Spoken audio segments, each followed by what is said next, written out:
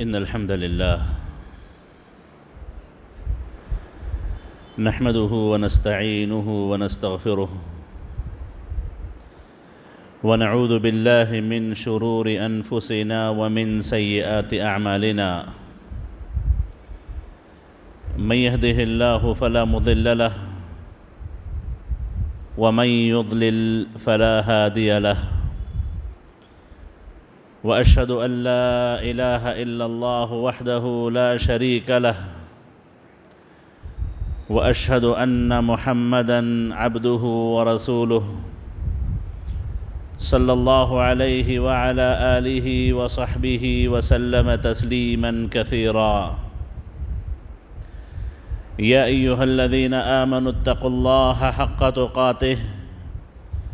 ولا تموتن إلا وأنتم مسلمون.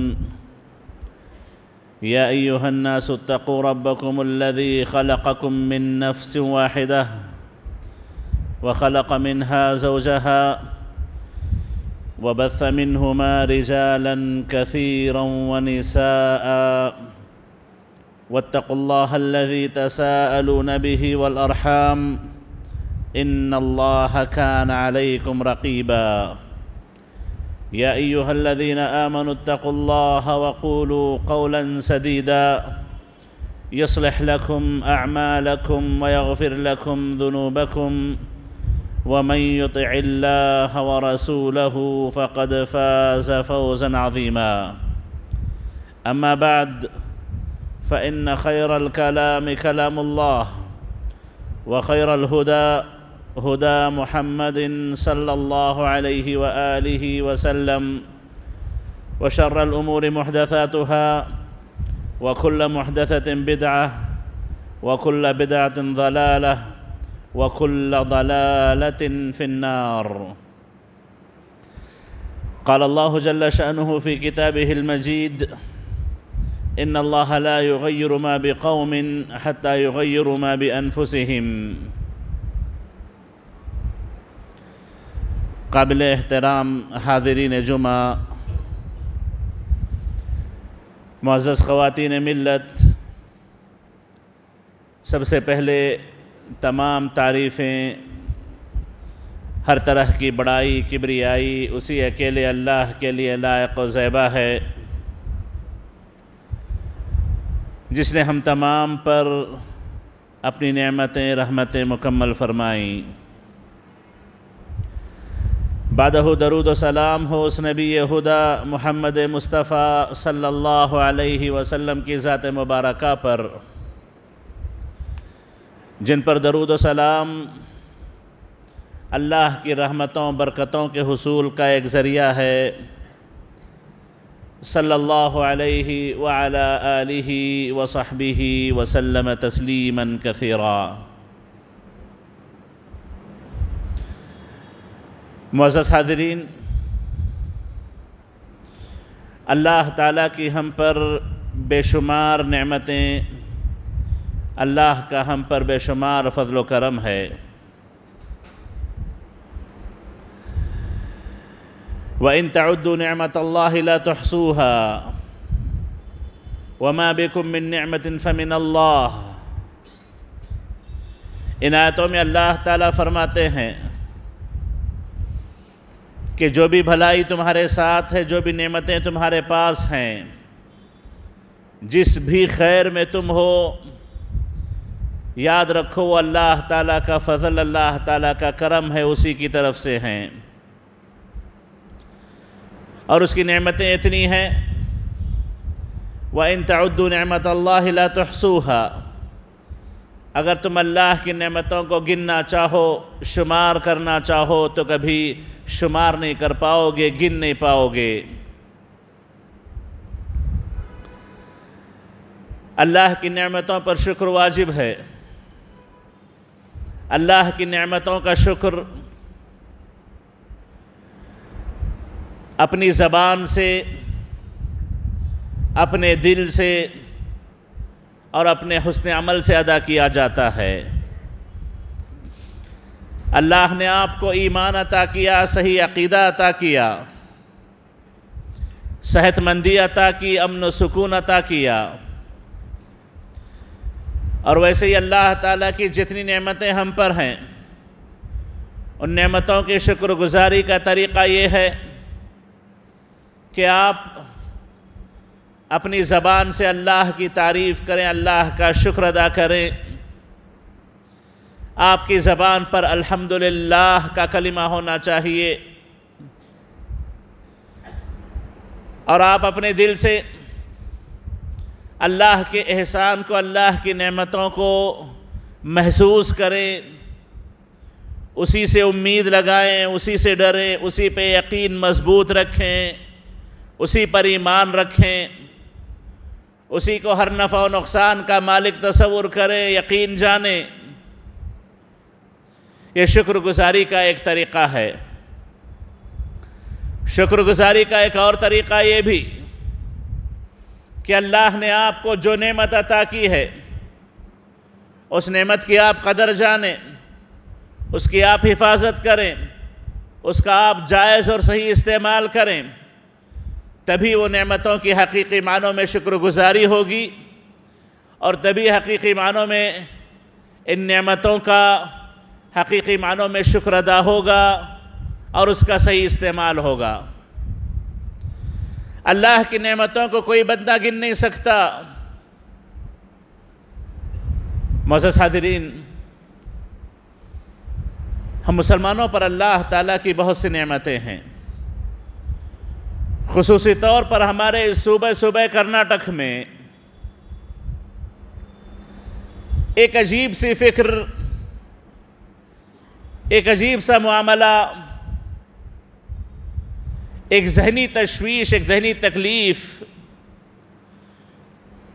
جو بالعموم ہندوستان کے مسلمان اور بالخصوص جنوب ہند میں کرناٹکا کے مسلمان محسوس کرتے جا رہے تھے۔ فکر کی تشویش، ذہنی پریشانی اس طریقے سے کہ اسلام دشمن طاقتیں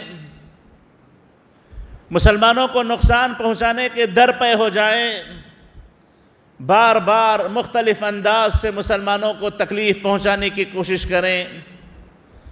مسلمانوں کو تکلیف پہنچانے میں کوئی کسر باقی نہ رکھیں۔ جسمانی تکلیف، مالی تکلیف، ذہنی تکلیف۔ غرض یہ کہ جو طریقہ میسر ہو سکے، اس طریقے سے مسلمانوں کو تکلیف پہنچائی جائے۔ ایسی کوششیں مسلسل تھیں اور مسلسل ہیں۔ اللہ سے دعا ہے کہ اللہ تعالیٰ ان کوششوں کا خاتمہ فرمائے۔ اللہ کا کرم ہوا۔ اللہ کا فضل ہوا کہ جو لوگ یہ فکر رکھتے ہیں، جو لوگ یہ گندی سوچ رکھتے ہیں، اللہ تعالیٰ نے ان کے ہاتھ سے اقتدار چھین لیا، ان کے ہاتھ میں وہ اقتدار باقی نہ رکھا۔ نسبتاً ان کے مقابلے اللہ تعالیٰ نے ان لوگوں کو اقتدار سونپا جو ان کے مقابلے کسی حد تک بہتر ہیں۔ یقیناً یہ اللہ تعالیٰ کی ایک نعمت ہے، اللہ تعالیٰ کا ایک احسان ہے۔ اور اللہ تعالیٰ اپنے بندوں کی پکار کو سنتا ہے، اپنے بندوں کی التجاؤں کو سنتا ہے، ان کی دعاؤں کو قبول کرتا ہے، مشکلوں میں ان کا ساتھ دیتا ہے۔ مصیبتوں میں ان کی مصیبتوں کو دور کرتا ہے۔ اور اللہ تعالیٰ کا یہی وعدہ ہے کہ اللہ تعالیٰ کو سچے دل سے بندہ اگر پکارے، اپنے عمل میں سچا ہو، اپنے ایمان میں سچا ہو، اپنی دعا میں سچا ہو، تو اللہ تعالیٰ ان کی دعاؤں کو ضرور قبول کرتے ہیں، مصیبتوں سے ان کو یقیناً نجات دلاتے ہیں۔ محسوس حاضرین اللہ تعالیٰ کا احسان تو ہوا۔ اللہ تعالیٰ کا ہم پر فضل و کرم تو ہوا۔ اگرچہ کہ ہم بے عمل ہیں، اگرچہ کہ ہم بد عمل ہیں، ایمان میں کمزور ہیں، یقین میں ناپختہ ہیں۔ اپنے عمل میں ہم کئی کجرویوں کا، کئی گناہوں کا شکار ہیں۔ نہ ہماری زندگی انفرادی طور پر اللہ کے احکام کے مطابق گزرتی ہے اور نہ ہمارے گھروں میں شریعت کے صحیح احکام کی پابندی کی جاتی ہے۔ اور نہ ہی ہمارے معاشرے میں اسلام کا بول بالا ہے۔ لیکن پھر بھی اللہ تعالیٰ کا ہم پر فضل ہوا۔ اللہ تعالیٰ کا ہم پر کرم ہوا۔ جس کی شکر گزاری ہم تمام پر واجب ہے۔ معزز حاضرین، اللہ کی نعمتوں کو سمجھیں، اللہ کے فضل کو سمجھنے کی کوشش کریں۔ جب انسان نعمتوں کی قدر کرے گا، نعمتوں کو سمجھے گا، تو وہ اس کی حفاظت بھی کرے گا۔ جیسے کوئی انسان پیسے کی قدر کرتا ہے، سونے کی قدر کرتا ہے، دستاویزات کی قدر کرتا ہے، اس کو بڑے جتن سے رکھتا ہے، اس کو ضائع ہونے سے بچاتا ہے، اس کو غلط ہاتھوں میں لگنے سے بچاتا ہے، اس کو کسی بھی طریقے سے نقصان نہ پہنچے، اس پر بعض اوقات وہ اپنی جان پر کھیل جاتا ہے۔ ان سب سے کہیں زیادہ یہ امن سکون، یہ امن عام، یہ ایمان جو اللہ تعالیٰ نے ہمیں سکون کیا، ہمیں اللہ تعالیٰ نے میسر کیا۔ اس کی حفاظت بڑی ضروری ہے، اس کی قدردانی بڑی ضروری ہے۔ خاص طور پر جو ایمان کا احسان اللہ تعالیٰ کا ہم پر ہے۔ ایمان کی توفیق اللہ نے ہمیں عطا کی ہے۔ مسلمان گھرانے میں ہمیں پیدا کیا، اس کا نام لینے والا بنایا، اس کی عبادت کرنے والا بنایا۔ اس کی قدردانی کی بڑی سخت ضرورت ہے۔ اگر ہم اس کی قدردانی کریں گے، اپنے اسلام کی حفاظت کریں گے، شریعت کے پابند بنے رہیں گے، اللہ تعالیٰ کے فضل، یکے بعد دیگرے ہم پر مسلسل ہوتے جائیں گے۔ اور اگر ہم نے حقیقی معنوں میں اس ایمان کی قدردانی نہ کی، اللہ کی توفیق کو ہم نے صحیح معنوں میں نہ سمجھا، اس کی حفاظت نہ کی، تو یاد رکھیں اللہ تعالیٰ پر کوئی بندہ اتنا بھاری نہیں ہے کہ اللہ تعالیٰ اس کو گناہوں کے باوجود اس پر اپنے فضل، اپنے کرم مسلسل نازل کرتا رہے اور دنیا و آخرت میں اسے کامیاب کرے۔ اللہ تعالیٰ پر ایسے کوئی بندہ بھاری نہیں ہے۔ معزز حاضرین، ہم اپنی حقیقت کو سمجھیں۔ ہم اپنے وجود کو سمجھیں۔ ہم ایک ایسی جمہوریت میں ہیں جہاں پر ہم اقلیت میں ہیں، ہم مینارٹی میں ہیں، میجارٹی جو بھی ہو۔ بہرحال وہ اپنا ایک بڑا ہونے کا حق رکھتی ہے۔ لیکن الحمدللہ، ہندوستان کا قانون، ہندوستان کا دستور، یہ ہندوستان کے تمام باسیوں کو، ہندوستان کے تمام رہنے والوں کو یکساں امن و سکون عطا کرنے کی تعلیم دیتا ہے۔ یہ اللہ کا فضل مزید ہم پر ہے۔ اگرچہ کہ ہم مینارٹی میں ہوں، لیکن تمام حقوق ہم رکھتے ہیں۔ اللہ نے ہمیں کسی ذریعے کسی ذریعے سے ہی پورے حقوق ادا کیے ہیں۔ ہم ایک شہری کا مکمل حق رکھتے ہیں۔ تو معزز حاضرین، یاد رکھیں، اس سے کہیں بڑھ کر کے ہم مسلمان ہیں۔ ہمارے دلوں میں اللہ پر ایمان ہے۔ ہم اسلام کا نام لینے والے ہیں۔ ہم پر اللہ تعالیٰ کی طرف سے کئی ذمہ داریاں عائد ہوتی ہیں۔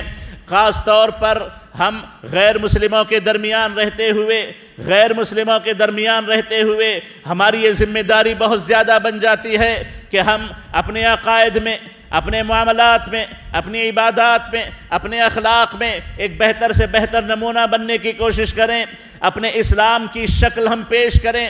اسلام کی شکل کو ہم بدصورت نہ بنائیں۔ اسلام کے اخلاق ہمارے اندر ہوں، ہمارے معاملات میں ہم صحیح معنوں میں مسلمان ہوں۔ تبھی جا کر کے یاد رکھیں ہم اللہ کی اس عظیم نعمت کے شکر گزار بندے بن سکتے ہیں۔ ورنہ صرف برائے نام مسلمان رہ جانا، مسلمان جی جانا، مسلمان مر جانا، یہ کوئی بہت بڑا معنی نہیں رکھتا۔ جب تک کہ اسلام کی اہمیت کو، اسلام کے مقام و مرتبے کو ہم نہ سمجھیں۔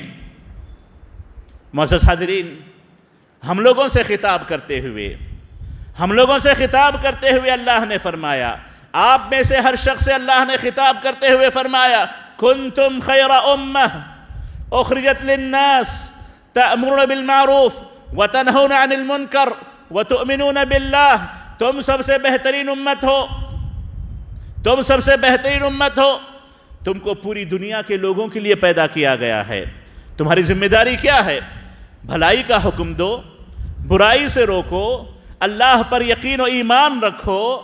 یہ تمہاری ذمہ داری ہے، یہ تمہاری ذمہ داری ہے۔ معزز حاضرین، جب آیت نازل ہوئی، جب آیت نازل ہوئی، صحابہ مخاطب تھے، صحابہ سامنے تھے۔ جیسے جیسے زمانہ گزرتا جائے گا جس زمانے میں جو بندہ زندہ رہے گا، جو امت زندہ رہے گی، اسلام کا نام لینے والی ہوگی، مسلمان اپنے آپ کو کہنے والی ہوگی اللہ کے نبی پر ایمان لانے والی ہوگی۔ یہ تمام کی تمام قوم قیامت تک آنے والے تمام کے تمام مسلمان صحابہ کے بعد اس آیت کے مخاطب ہیں۔ اللہ تعالیٰ ہر مسلمان سے گویا خطاب کر کے کہہ رہا ہے کن تم خیر امت اخریت للناس، تم سب سے بہترین امت ہو، تم کو لوگوں کے لیے بنایا گیا، اور یہ تمہاری ذمہ داریاں اللہ تعالیٰ نے تم پر عائد کر دی ہیں، فرض کر دی ہیں۔ معزز حاضرین جس امت کو ذمہ داری دعوت کی دی گئی، جس امت کو ذمہ داری اچھے اخلاق کے پیش کرنے کی دی گئی، جس امت کو ذمہ داری بہتر معاملات کی دی گئی، بڑے افسوس کے ساتھ تقریباً آپ میں سے ہر ایک اسی بات کا گواہ ہوگا کہ ہم مسلمان نہ عقیدے میں صحیح معنوں میں پختے ہیں، نہ عبادات میں درست ہیں۔ معاملات میں ہم سے غیر مسلمان کہیں زیادہ آگے نکلے ہوئے نظر آتے ہیں اخلاق میں بھی غیر ہم سے بہتر نظر آتے ہیں تو ہم نے اپنی ذمہ داری کہاں تک سنبھالی؟ جب ہم اخلاق میں، عقیدے میں، معاملات اور عبادات میں صحیح نہ ہوں، تو ہم کیسے کسی کو بھلائی کا حکم دے پائیں گے؟ ہم کیسے کسی کو اس کے کفر سے، اس کے شرک سے، اس کی برائیوں سے، بد اخلاقی سے روک پائیں گے؟ جبکہ ہم خود بد اخلاق ہوں، ہمارے معاملات صحیح نہ ہوں، ہماری عبادتیں صحیح پابندی سے نہ ہو پاتی ہوں، عقائد میں ہم وقتاً فوقتاً وقتاً فوقتاً کمزور پڑ جاتے ہوں، تو ہم ذمہ داری کہاں ادا کر پائیں گے؟ جو ذمہ داری اللہ نے ہمیں دی، تأمرون بالمعروف وتنہون عن المنکر، بھلائی کا حکم دو، برائی سے روکو۔ یہ ذمہ داری ہم کہاں کر پائیں گے جب ہم خود بھلائی پہ عمل نہ کریں، جب ہم خود برائی سے نہ رکیں؟ معزز حاضرین، جمہوریت میں رہتے ہوئے اقلیت اور مینارٹی کے طور پر ذمہ داریاں ہم پر بڑھ جاتی ہیں۔ جتنی ذمہ داریاں ہم پر بڑھیں گی، ثواب اتنا زیادہ ملے گا۔ اللہ اتنا ہی زیادہ بڑھ کر کے عجر ہمارے حق میں لکھے گا اور اتنی ہی زیادہ ہماری آزمائش ہوتی ہے کہ ہم کیسے اپنے آپ کو، اپنے اسلام کو، اپنے اخلاق کو، اپنے معاملات کو لوگوں کے سامنے پیش کرتے ہیں۔ معزز حاضرین اسلام دشمنی تو ہمیشہ کی تاریخ رہی ہے۔ اسلام اور مسلمانوں کے دشمن ہمیشہ رہے ہیں۔ جب سے انبیاء شروع ہوئے، جب سے رسول بھیجے جانے لگے، اس وقت سے لے کر کے آخری نبی محمد مصطفیٰ علیہ السلام تک اور اس زمانے سے لے کر کے قیامت تک اسلام کی دشمنی باقی رہے گی، مسلمان کے دشمن باقی رہیں گے۔ مسلمانوں سے یہ مطالبہ ہے، اسلام کے ماننے والوں سے یہ مطالبہ ہے کہ وہ اپنے اخلاق کا کیسے مظاہرہ کرتے ہیں، ان کے اخلاق کیا ہوتے ہیں، ان کا ایمان کیسے ہوتا ہے، ان کے اب اللہ اللہ کے درمیان کا عبادتوں سے متعلق تعلق کیسے بنتا ہے۔ ان کے معاملات میں کہاں تک وہ سچے پکے ہوتے ہیں، یہ آزمائش تمام مسلمانوں کی قیامت تک رہے گی۔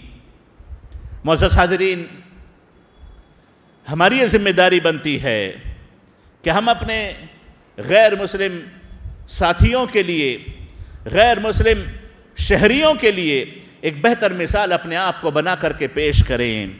خاص طور پر یہ پانچ سالہ دور اللہ تعالیٰ سے دعا ہے کہ اللہ تعالیٰ اس کو پورے امن و سکون کے ساتھ گزار دے۔ اللہ تعالیٰ اس میں مسلمانوں کے لیے صلاح، بھلائی بہتری کے تمام راستے مہیا کرے۔ یہ پانچ سالہ دور ہمارے لیے ایک آزمائش ہے، ہمارے لیے ایک امتحان ہے کہ ہم اپنے آپ کو سدھارتے ہیں یا ہم اپنی اسی حالت میں باقی رہتے ہیں۔ ان اللہ لا یغیر ما بقوم حتی یغیر ما بانفسہم۔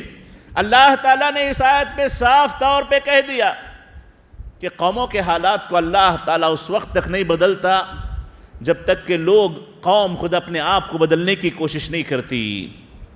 مزہ حاضرین، کتنی مثالیں آپ کے سامنے ہوں گی۔ کتنی مثالیں ہمارے اپنے اس صوبے کی ہیں کہ کتنی مشکلیں ہم نے ہم نے کتنی مشکلوں کا ہم نے مقابلہ کیا۔ حجاب کا مسئلہ لے لیں۔ ہماری اپنی عزت جو ہمارے اپنے گھروں میں ہے، ہماری اپنی عورتیں، ہماری اپنی بچیاں، بیٹیاں اور بہنیں، حجاب کے نام پر تنگ کی گئیں۔ پریشان کی گئیں۔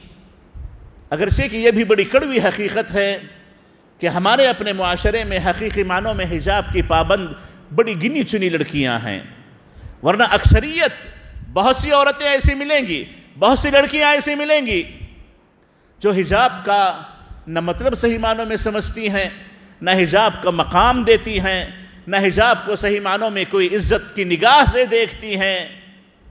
لیکن اسلام دشمن، مسلمان دشمن طاقتیں چاہتی ہیں کہ اسلام کا مکمل خاتمہ ہو، اسلامی تعلیمات کا خاتمہ ہو، اسلامی اقدار کا خاتمہ ہو، اسلامی اخلاق کا خاتمہ ہو، لیکن جیسے اللہ تعالیٰ کا وعدہ ہے، اسلام باقی رہے گا مسلمان باقی رہیں گے، اسلامی عقائد باقی رہیں گے، قیامت کی صبح تک اسلام باقی رہے گا۔ جب تک قیامت نہ آ جائے، مسلمانوں کا وجود ہوگا۔ ہاں قیامت کے بالکل قریب مسلمان جب ختم ہو جائیں گے، تب سب سے بدترین لوگ جو دنیا میں باقی رہیں گے، ان پر جا کر کے اللہ تعالیٰ قیامت لائے گا، ورنہ ان سے پہلے تک اللہ اللہ کا نام لینے والے ضرور باقی رہیں گے۔ معزز حاضرین، میں نے بھی حجاب کی مثال آپ کے سامنے پیش کی کہ حجاب کے مسئلے میں کتنی پریشانی ہمیں اٹھانی پڑی، کتنی بچیوں کو اپنے حجاب کو اتار کر کے کمپرومائز کرنا پڑا۔ توان و کرہن چاہتے نہ چاہتے ہوئے۔ لیکن لیکن ابھی اللہ تعالیٰ نے ہمیں کچھ چھوٹ دی ہے۔ اللہ نے ہمیں دوبارہ موقع دیا ہے کہ ہم دوبارہ رجوع کر لیں۔ الحمدللہ، ایک قسم کی بیداری آئی۔ جو حجاب نہ کرتی تھی، ان کو بھی حجاب کا کسی حد تک شوق ہوا۔ حجاب کی اہمیت پتہ چلی، الحمدللہ، لیکن کیا ہمارے اخلاق میں سدھار آیا؟ کیا ہم نے صحیح معنوں میں پردے کو سمجھا؟ کیا ہم اپنے گھروں میں اس اسلامی حجاب کی پابندی کریں گے؟ اپنی عورتوں سے حجاب کروائیں گے؟ ان سے حجاب والا جو بہتر معاملہ ہے، اللہ نے جو آداب اخلاق ہمیں سکھائے ہیں، کیا اس کی پابندی کروائیں گے؟ یہ ہمارے لیے امتحان ہے، یہ ہمارے لیے آزمائش ہے۔ اور اللہ تعالیٰ کا قانون ہے۔ اللہ تعالیٰ فرماتے ہیں، سورہ بنی اسرائیل میں اگرچہ کہ خاص واقعے کے تحت اللہ تعالیٰ نے کہا، لیکن عام بات ہے، وَإِنْ عُدْتُمْ عُدْنَا، اگر تم دوبارہ کرو گے تو اللہ تعالیٰ بھی تمہارے ساتھ دوبارہ وہی معاملہ کرے گا۔ دوبارہ اللہ تعالیٰ کی شریعت کی بے حرمتی کرو گے تو اللہ تعالیٰ دوبارہ تم کو ذلیل کرے گا۔ معزز حاضرین، ہمیں اپنے اسلامی اقدار کو سمجھنے کی ضرورت ہے۔ اسلامی اخلاق کو سمجھنے کی ضرورت ہے۔ ہمیں اپنے ذات پر، اپنے آپ پر، اپنے بدن پر، اپنے گھروں پر، اپنے گھر والوں پر، اپنی زندگیوں پر، اپنی تجارتوں پر اسلامی اخلاق کو، اسلامی معاملات کو لاگو کرنے کی ضرورت ہے۔ اگر سدھریں گے، اللہ تعالیٰ معاملات کو سدھارے گا۔ اگر اسی حالت میں رہیں گے، اللہ تعالیٰ کو حالات بدلنے دیر نہیں لگتی۔ اللہ تعالیٰ کو حالات بدلنے دیر نہیں لگتی۔ اللہ تعالیٰ کے نزدیک وہی بندے باعزت ہوتے ہیں جن کے دلوں میں شریعت کی عزت ہو، شریعت کا مقام ہو، جن کے دلوں میں شریعت کا کوئی مقام نہ ہو۔ اللہ تعالیٰ کے نزدیک نہ ان کا کوئی مقام ہے، نہ ان کی کوئی عزت ہے، نہ اللہ تعالیٰ ان کی کوئی حفاظت کی ذمہ داری لیتا ہے۔ مزد حاضرین، ہمیں چاہیے کہ ہم ایک بہتر شہری، ایک بہتر مسلمان بن کے اپنے آپ کو ظاہر کریں۔ ہماری زبان بہتر ہو، ہمارے اخلاق بہتر ہوں، ہمارے معاملات بہتر ہوں۔ اور جہاں پر ہم حقوق العباد میں اپنے آپ کو بہتر بنائیں، حقوق اللہ میں اپنے آپ کو بہتر بنائیں، عقائد و عبادات میں اپنے آپ کو بہتر بنائیں، ان دونوں کی ہم اللہ تعالیٰ، ان دونوں کی ہم فکر کر لیں، تو اللہ تعالیٰ ہماری حفاظت کرنے پر قادر ہے۔ اللہ تعالیٰ ہماری حفاظت کر لے گا۔ اللہ تعالی ہم کو محفوظ رکھے گا۔ اللہ تعالیٰ نے ہم پر نعمتیں مکمل کی ہیں۔ اللہ نے ہمیں موقع دے دیا ہے۔ اللہ نے ہمیں ایک مصیبت سے نجات دلائی ہے۔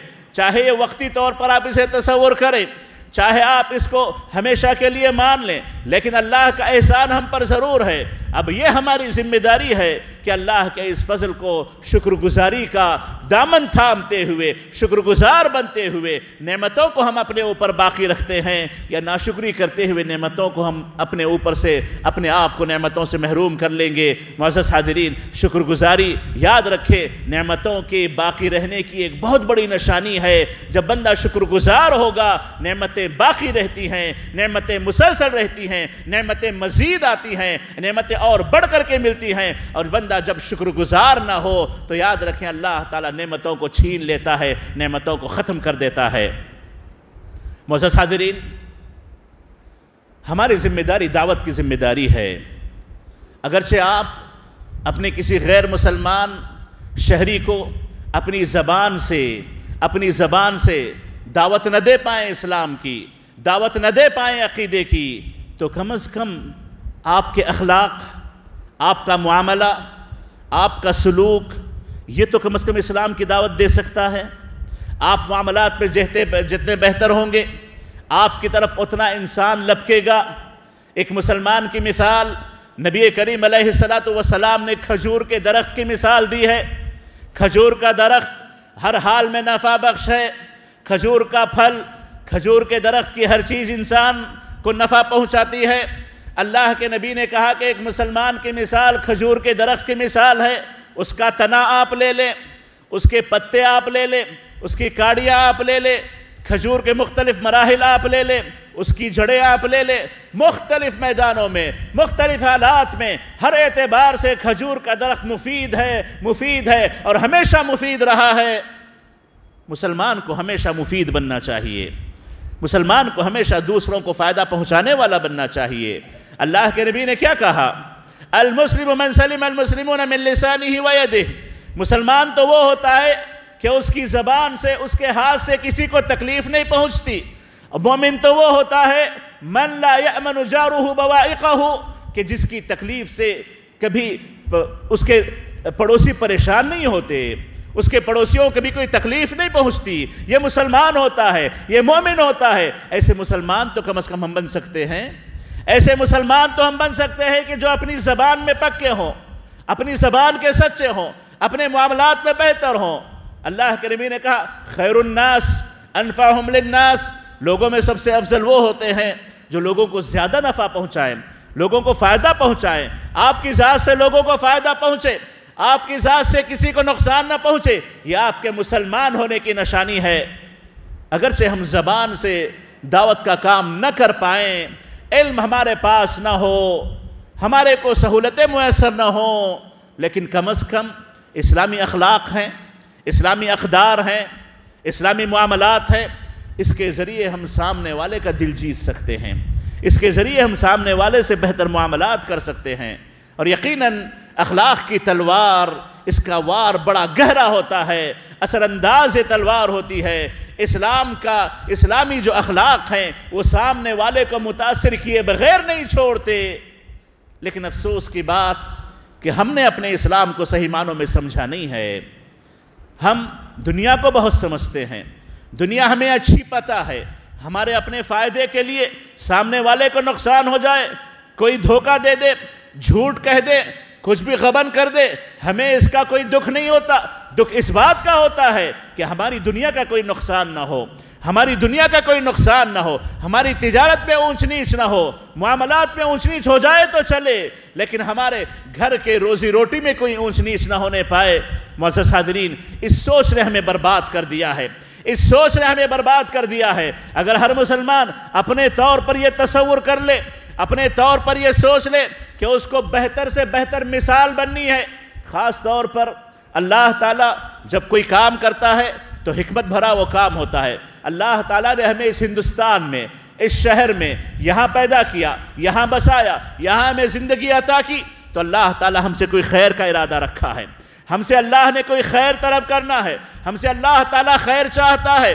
اب ہم اس خیر پہ پورے اتر پاتے ہیں۔ ہم ان اخلاق کو صحیح طور پہ اپنا پاتے ہیں، یا ہم ان اخلاق سے عاری ہو کر کے بد اخلاق ہو جاتے ہیں، یہ ہمارا معاملہ ہے۔ ہم اپنے آپ کو سنبھالیں، اپنے آپ کو سدھاریں، اپنے آپ کو صحیح معنی مسلمان بنانے کی کوشش کریں۔ اللہ تعالیٰ سے دعا ہے کہ اللہ تعالیٰ ہمیں اپنے منصب کو، اپنے مقام کو سمجھنے کی توفیق نصیب فرمائے۔ آمین۔ اقول قولی هذا واستغفر الله لي ولكم ولسائر المسلمين من كل ذنب فاستغفروه انه هو الغفور الرحيم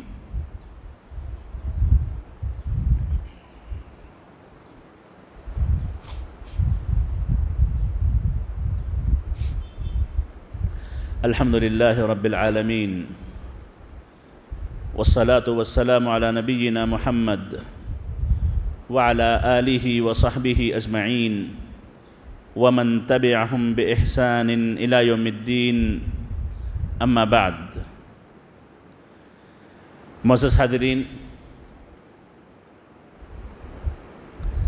ہم مسلمان ہونے کے ناطے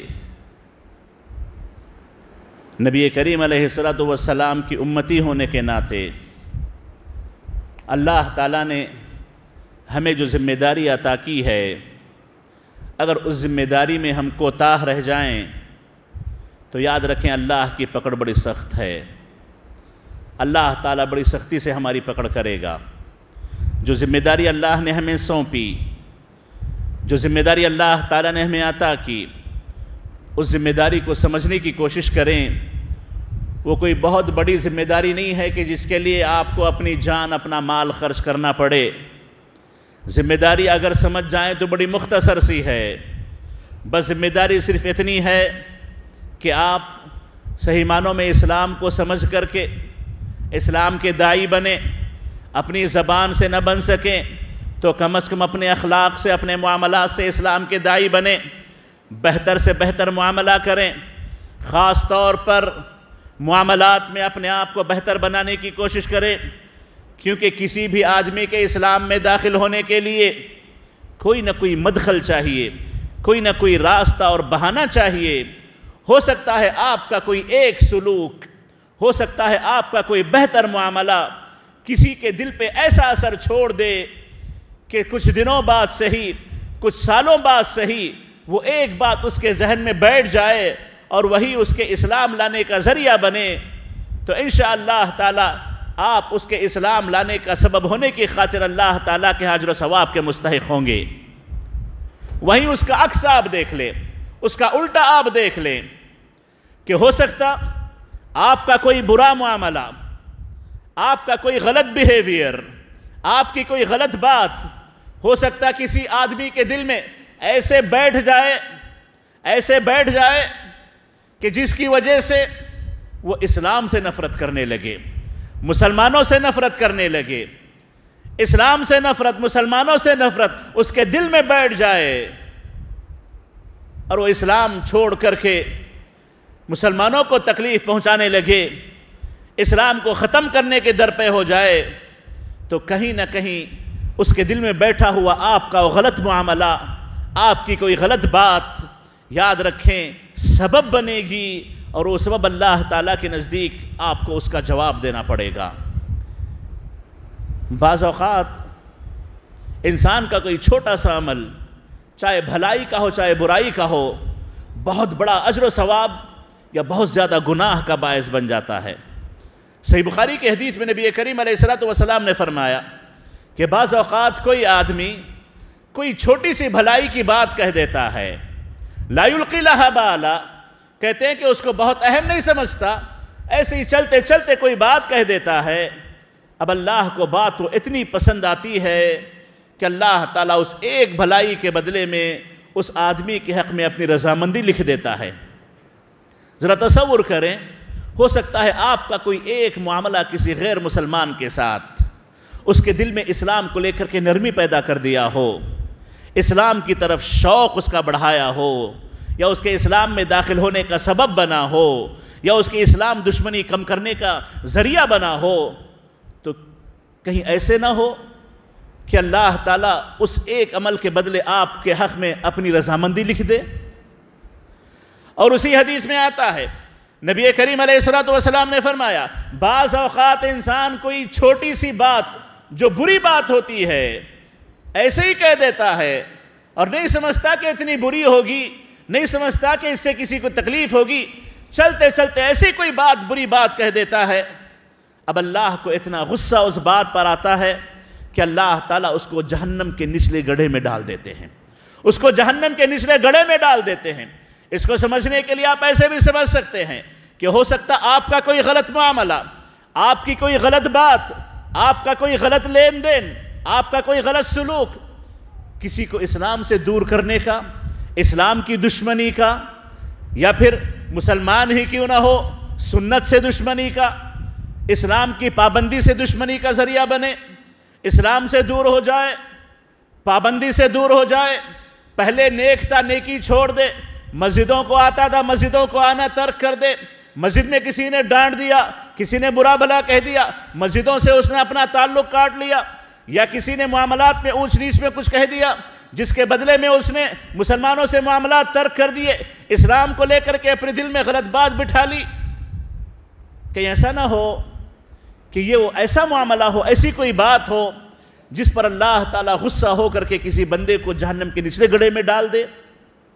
اس انداز سے اگر بندہ سوچنے لگے تو کسی بھی چھوٹی نیکی کو چھوٹا تصور نہیں کرے گا، بڑھ کے کر لے گا اس کو۔